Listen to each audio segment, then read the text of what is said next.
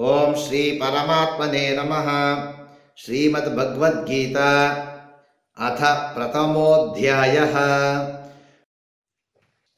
शान्ताकारं भुजगशयनं पद्मनाभं सुरेशं।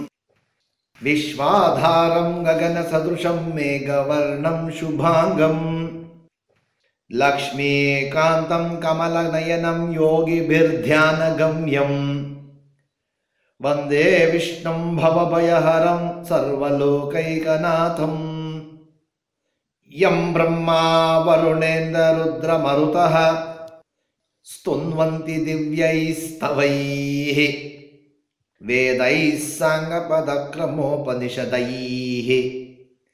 गायन्ति यं सामगाः।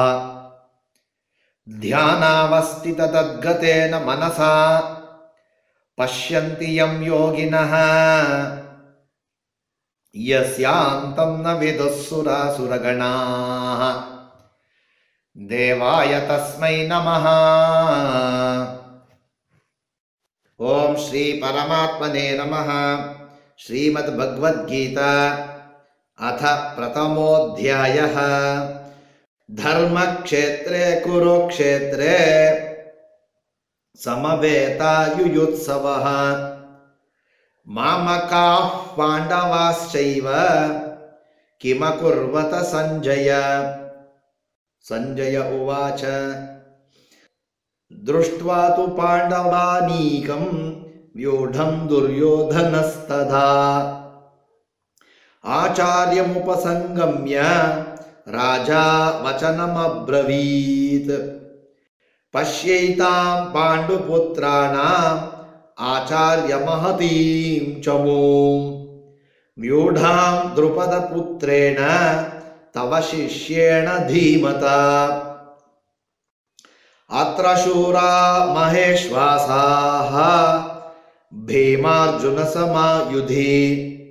युयुधानो विराटश्च द्रुपदश्च महारथः दृष्टकेतुश्चेकितानः काशीराजश्च वीर्यवान्। पुरुजित्कुन्तिभोजश्च शैभ्यश्च नरपुङ्गवः। युधामन्युश्च विक्रान्त उत्तमोजाश्च वीर्यवान्। सौभद्रो द्रौपदेयाश्च सर्व एव महारथाः। अस्माकं तु विशिष्टाये तानि बोधद्विजोत्तम। नायका मम सैन्यस्य सन्न्यार्तं तान् ब्रवीमि ते भवान् भीष्मश्च कर्णश्च कृपश्च समितिञ्जयः अश्वत्थामा विकर्णश्च सौमदत्तिस्तथैव च। अन्ये च बहवः शूराः मदर्ते त्यक्तजीविताः। नानाशस्त्रप्रहरणाः सर्वे युद्धविशारदाः। तदस्माकं बलं भीष्माभिरक्षितं पर्याप्तं त्विदमेतेषा बलं भीमाभिरक्षितम्। अयनेषु च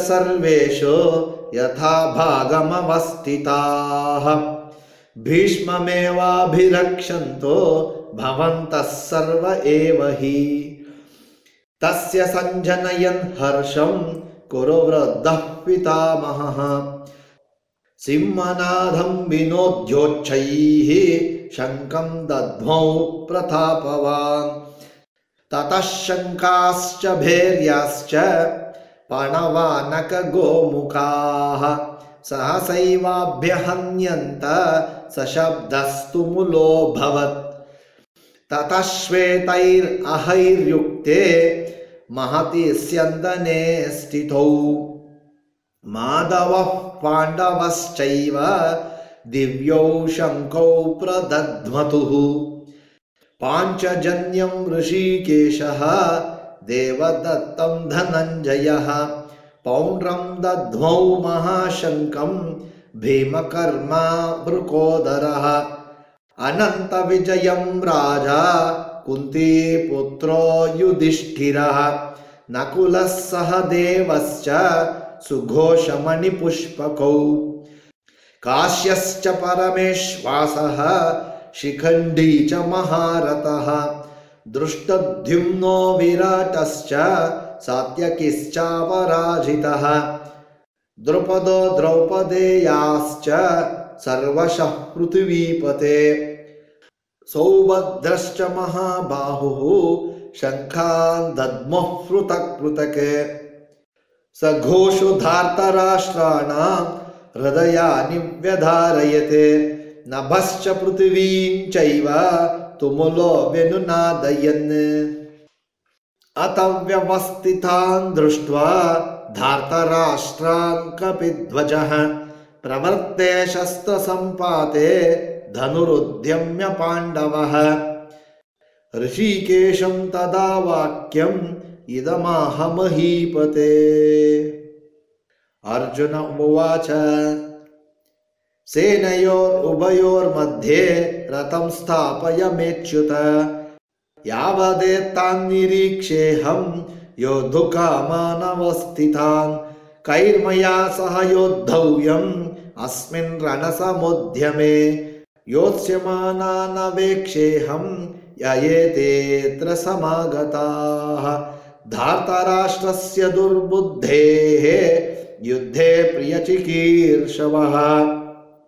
सञ्जय उवाच एवमुक्तो ऋषिकेशः, गुडाकेशेन भारत। सेनयोरुभयोर्मध्ये स्थापयित्वा रथोत्तमम्। भीष्मद्रोणप्रमुखतः सर्वेषां च महीक्षिता उवाच पार्थ पश्यैतान् समवेतान् कुरुनिति तत्रापश्यत् स्थितान् पार्थः पितॄनत पितामहान्। आचार्यान् मातुलान् भ्रातॄन् पुत्रान् पौत्रान् सखींस्तथा। श्वशुरान् सुहृदश्चैव सेनयोरुभयोरपि तान् समीक्ष्य स कौन्तेयः सर्वान् बन्धूनवस्थितान्। कृपया परयाविष्टः विषीदन्निदमब्रवीत् अर्जुन उवाच दृष्ट्वेवं स्वजनं कृष्ण युयुत्सुं समुपस्थितम् सीदन्ति मम गात्राणि मुखं च परिशुष्यति वेपतुश्च शरीरे मे रोमहर्षश्च जायते। गाण्डीवं संसृते हस्तात् त्वक्षैव परिदह्यते। न च शक्नोम्यवस्थातुं भ्रमतीव च मे मनः। निमित्तानि च पश्यामि विपरीतानि केशव। न च श्रेयोनुपश्यामि हत्वा स्वजनमाहवे। न काङ्क्ष्य विजयं कृष्ण न च राज्यं सुखानि च। किं नो राज्येन गोविन्द किं भोगैर्जीवितेन वा। येषामर्थे काङ्क्षितन्नः राज्यं भोगाः सुखानि च। त इमेव स्थिता युद्धे प्राणान् त्यक्त्वा धनानि च आचार्याः पितरः पुत्राः तथैव च पितामहाः। मातुलाः श्वशुराः पौत्राः शालाः सम्बन्धिनस्तथा। एतान्न हन्तुमिच्छामि ज्ञतोऽपि मधुसूदन। अपि त्रैलोक्यराज्यस्य हेतो किन्नु मही कृते तस्मान्नर्हा वयं हन्तुं धार्तराष्ट्रान् स्वबान्धवान्। स्वजनं हि कथं हत्वा सुखिनः स्याम माधव। तस्मान्नर्हा वयं हन्तुं धार्तराष्ट्रान् स्वबान्धवान्। स्वजनं हि कथं हत्वा सुखिनः स्याम माधव। यद्येप्येते न पश्यन्ति लोभोपहत चेतसः कुलक्षयकृतं दोषं मित्रद्रोहे च पातकम्। कथं न ज्ञेयमस्माभिः पापादस्मान्निवर्तितुं कुलक्षयकृतं दोषं प्रपश्यद्भिर्जनार्दन। कुलक्षये प्रणश्यन्ति कुलधर्माः सनातनाः धर्मे नष्टे कुलं कृत्स्नम् अधर्मोऽभिभवत्युत अधर्माभिभवात् कृष्ण प्रदुष्यन्ति कुलस्त्रियः। स्त्रीषु दुष्टासु वार्ष्णेय जायते वर्णसङ्करः सङ्करो नरकायैव कुलघ्नानां कुलस्य च। पतन्ति पितरो हेषा लुप्तपिण्डोदकक्रियाः।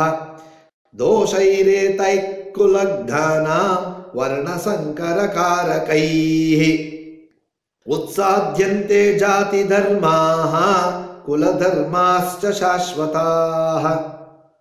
उत्सन्नकुलधर्माणां मनुष्याणां जनार्दन नरके नियतं वासः भवतीत्यनुशुश्रुम।